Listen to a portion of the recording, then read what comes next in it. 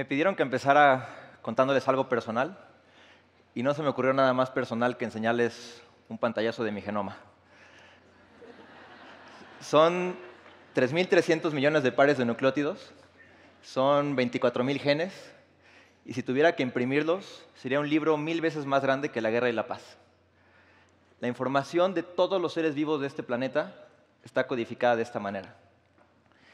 Y es un mapa, digámoslo así, un poco indescifrable hasta que le empezamos a hacer algunas preguntas.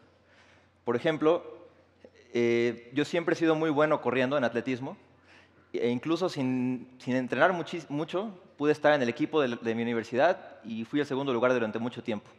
Y quizás es porque tengo esta mutación que está ahí resaltada, que tienen también todos los hombres corredores de las Olimpiadas. En contraste, siempre he sido malísimo nadando. No puedo competir eh, en, natación porque a media alberca ya me estoy ahogando. Y quizás tenga que ver porque no tengo estas dos mutaciones que tienen que ver como cómo las personas pueden hacer eh, ejercicio de alto rendimiento con poco oxígeno. También tiene que ver, y es importante por si a alguien se le ocurre de aquí subir el Everest algún día. Le, le puedo también hacer otras preguntas a este mapa, quizás un poco más relevantes con mi salud. Por ejemplo, tengo la predisposición de tener cáncer de mama, en este caso no lo tengo, pero sí tengo la predisposición para tener cáncer de páncreas. Eso no quiere decir que me va a dar cáncer de páncreas, solamente quiere decir que dentro de mis genes está la información para que quizás se pueda activar esto. Estoy, tengo esta predisposición. Sabemos toda esta información gracias a que hace 15 años se secuenció por primera vez el genoma humano completo. Eh, en ese entonces se tardaron cerca de 12 años en hacerlo y costaba alrededor de mil millones de dólares poder secuenciar un genoma. Este año, por primera vez, vamos a romper la barrera de los mil dólares para secuenciar un genoma humano completo.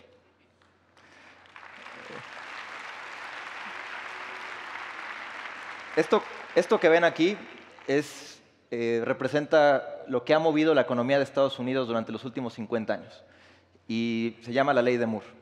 Básicamente la ley de Moore lo que dice es eh, el poder de procesamiento de las computadoras se duplica cada 18 meses, mientras que su costo se divide a la mitad. Y esto ha acelerado toda la innovación que estamos viendo.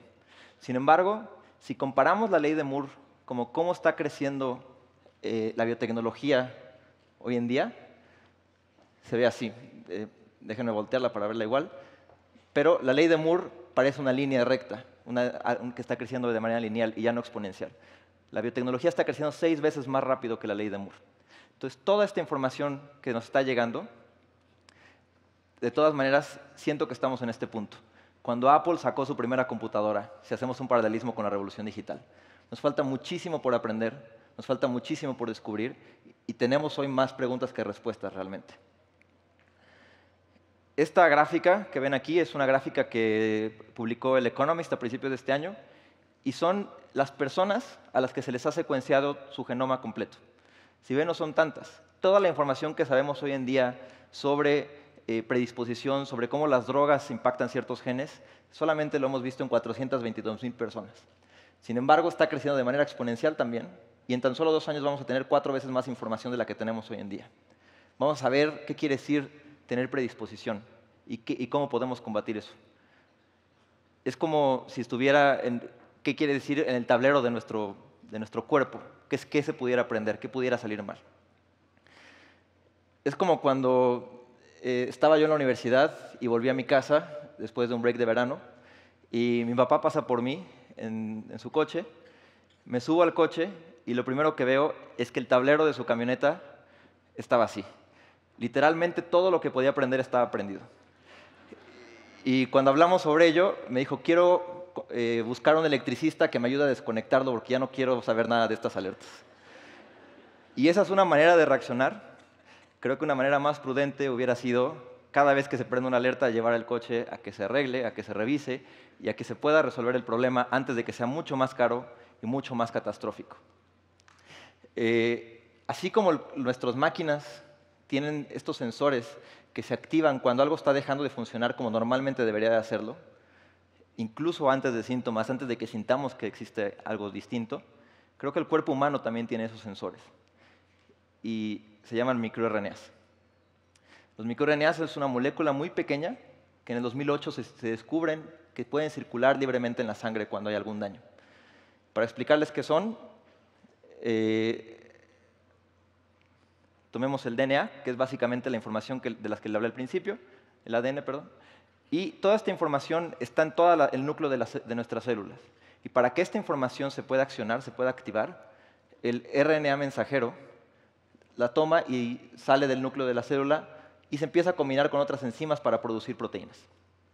Potencialmente el RNA mensajero puede hacer cientos de miles de proteínas, pero el que les dice cuántas puede hacer y cuáles puede hacer y cuándo puede hacerlas son los microRNAs.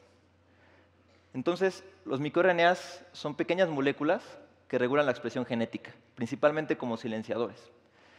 Y esto es bastante importante en muchas enfermedades que están relacionadas 100% con los genes, principalmente enfermedades como el cáncer. Está demostrado que distintos tipos de cáncer tienen un patrón único de microRNAs que puede circular en la sangre, incluso en las etapas más tempranas de que esta enfermedad ya está, ya está dentro de nuestro cuerpo. Y esto de que sea etapas tempranas es bastante importante, porque después de que te dicen que tienes cáncer, la mejor noticia que te pueden decir es que te lo detectaron en etapa temprana, donde tenemos, mayor probabilidad de sobrevivirle, tenemos, el tratamiento va a ser menos costoso y menos doloroso. Nosotros no descubrimos cómo detectar microRNAs. Este aparato que ven aquí es el aparato que tenemos en nuestro laboratorio. Es un aparato que nos costó 35 mil dólares nos viene con esta computadora que está junto, que no nos dejan conectar en Internet porque dicen que se les mete virus, no nos dejan actualizarla, y eh, tuvieron que entrenar dos personas de esta empresa a tres gente personas que tienen doctorado dentro de la nuestra para poder usarla. Y sigue siendo muy complicado y sigue siendo muy caro utilizarlo. Nosotros lo que queremos hacer es cómo esta tecnología, que hoy en día es bastante cara, bastante compleja y que está únicamente en ciertos laboratorios centralizados, cómo lo podemos llevar a tu casa que esté junto a la mesa que tienes en la cama.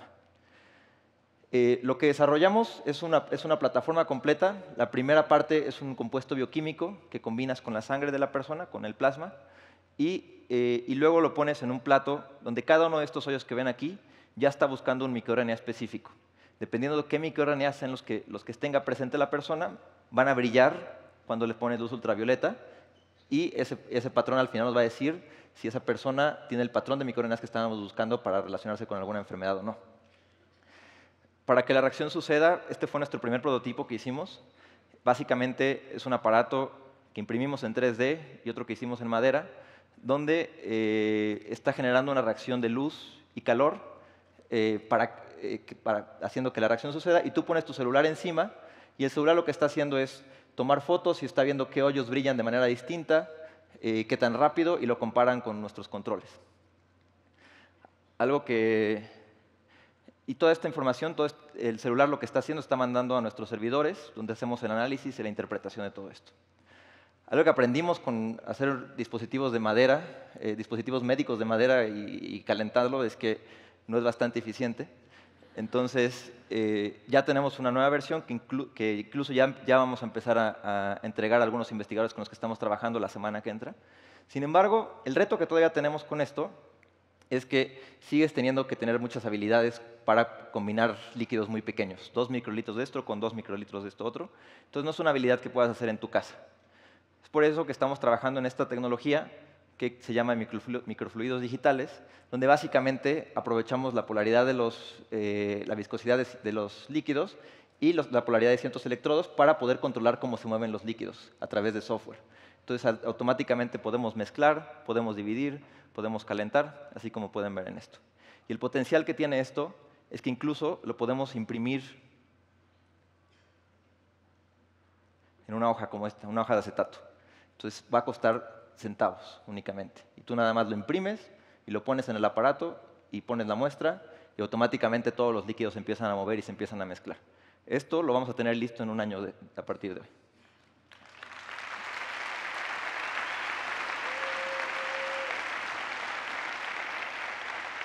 Toda la información que, recolectamos va a nuestros servidores, donde tenemos modelos que analizan y tratan de comparar toda la información que, está, que estamos recibiendo, no nada más con la persona a la que le estamos haciendo la prueba, pero también con las pruebas previas que tenemos y también con toda la información científica que ya se ha publicado y que está experimentalmente validada. Entonces, esto hace que cada prueba que hacemos nos hacemos más inteligentes, cada vez que se descubren nuevas cosas con microRNAs nos hacemos más inteligentes y por lo tanto vamos a poder hacer, vamos a poder ir agregando distintas enfermedades. Hoy en día, las enfermedades que nos estamos enfocando es cáncer de estómago y cáncer de pulmón. Ya tenemos una prueba clínica corriendo en Chile y en Perú, donde, podemos, donde tenemos muy buenos resultados que nos permiten diferenciar claramente entre una gastritis atrófica, una no atrófica y un cáncer de estómago con una prueba de sangre. Y estamos ya empezando conversaciones para también poder replicar esos resultados en el IMSS acá en México.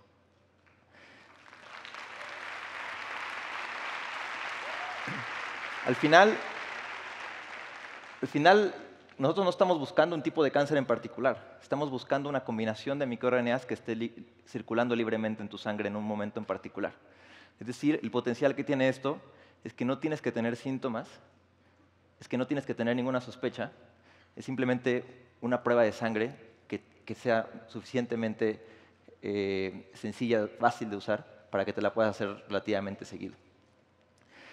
Estoy muy contento y me siento muy honrado de estar en este escenario, porque como dijo Andrés, nuestro primer cheque de esta empresa lo recibimos hace dos años aquí, eh, gracias a que ganamos eh, el premio de Gifted Citizen.